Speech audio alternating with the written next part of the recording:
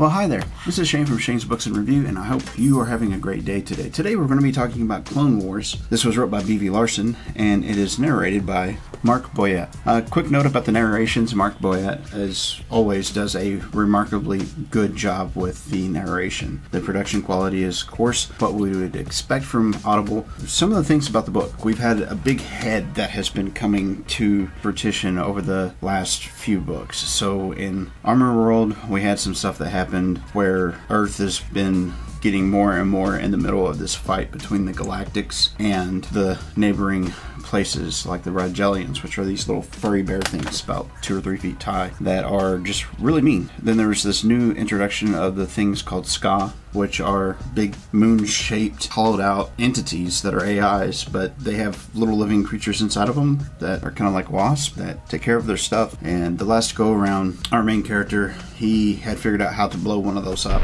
They're also, Earth is kind of stuck in the middle between the Skay and the Mogwai because the Mogwai were our original quote unquote masters in this universe, and the Skay are pretty well tired and they're going to exact revenge on the Mogwai. So we got just a hint of backstory on this one. There wasn't a whole lot of new stuff in Clone Wars or Clone World like there was in Armor World. By that, what I'm talking about is like the backstory of the Mogwai or the reason why things are happening or there's a galactic throne that some creature should be sitting in, but nobody can agree upon who it is. In this one, it's more of we end up having our main in this. He shows up on the world of the Rigelians and he's butt naked and moons everybody and blows his cover immediately. Uh, it's full of the zany stuff that we would expect from B.V. Larson. There's a lot of comic relief, uh, but I felt like this book wasn't serious enough to need all that, in my own humble opinion. So James McGill, he of course has a little bit more of his antics with Galina. Their on again and off again relationship, it shows itself in this book as well. It's him flirting with a couple of different girls that are in there. So there's that. That stayed true. But it's one of those things where, you know, every once in a while it's good to have that payoff, but then the book after it, it's like, oh my gosh, why didn't we get any more detail than what we actually did? Or why didn't we have any more of a payout than what we did at the end? I mean, don't get me wrong, James gets stuck up in the middle of everything and has to save the day yet again in between using his mouth and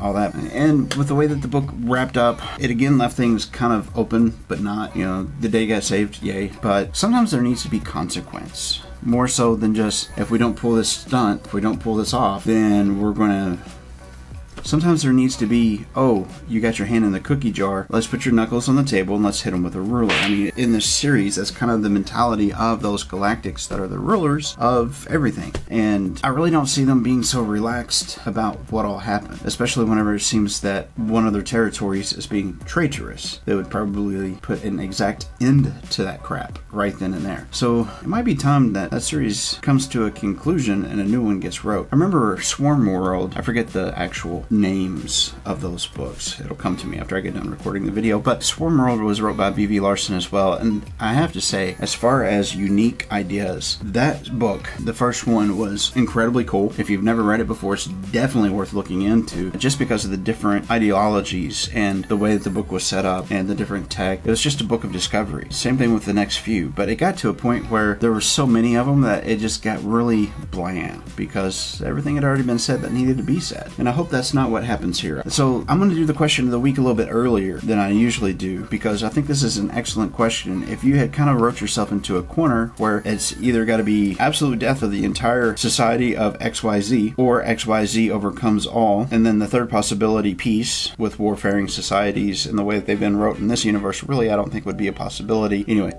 what would be your choice? How would you work it around? I'd love to know. Please tell me down there in the little comment box area. Along of it all, what are some of the feelings that this book brought out of me? Well, a little bit of annoyance, if you can't tell. I mean, don't get me wrong, I liked the book, it was enjoyable. I've actually read it twice, but there's that whole thing of let's get to the point. And that's something that hasn't happened here. There's been a lot of payouts and payoffs in this series, getting up to the point where we're at in it. There's all kinds of creatures, there's all kinds of things. There's a whole universe that he's created with this. I don't know how well a side book within that universe would go over. I don't know how that would work, but beyond the the annoyance factor there for myself personally, and I don't expect everybody to feel that. Sometimes it is nice if an author will stop with the verbal diarrhea and get to the point. You know, just get to the damn point. Let us know what it is you want us to get to. It's set up so something big can happen.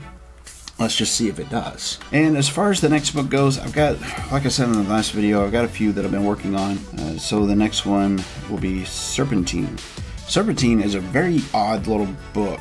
It's wrote by Thomas Thompson and it's narrated by Mike Chamberlain. And then uh, Legacies by F. Paul Wilson, which is book two of the Repairman Jack saga. And then I've got one from Lynette that I have not ignored, but that I need to finish and I just haven't. It's The Dry. Uh, it's been a very interesting book. It's a lot different than a lot of American authors, and that's one of the reasons why I've been enjoying it and just taking it in a little bit at a time. Well, beyond that, I got stuff I got to get to. I hope you guys had a great week. I hope your upcoming week is just as good, or better, or incredible. Like, share, subscribe. This is Shane with Shane's Books in Review, and I will see you in the next video.